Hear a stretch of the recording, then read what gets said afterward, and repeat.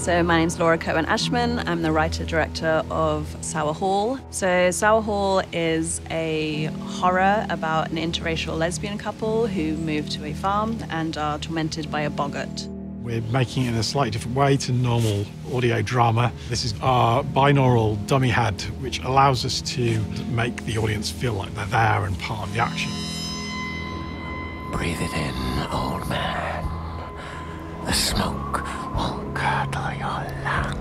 It puts the listener into the shoes of the protagonist, so they feel like they're here on the farm. They feel like they're experiencing these terrors. I'm being really spoiled because this is not the usual way to record audio on location. It's been so beneficial for us to actually be here. It's going to feel quite intense, and I think that it's really going to come across where we are.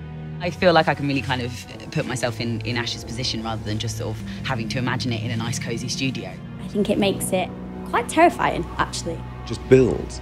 The narrative goes on. I think people will find it gets spookier and spookier and spookier. The sounds that they're hearing around them, putting them in the moment and trying to give them kind of shivers down the back of their neck. When things scare me, they tend to stay with me for a long time. So, um, yeah, I'm looking forward to listening to this.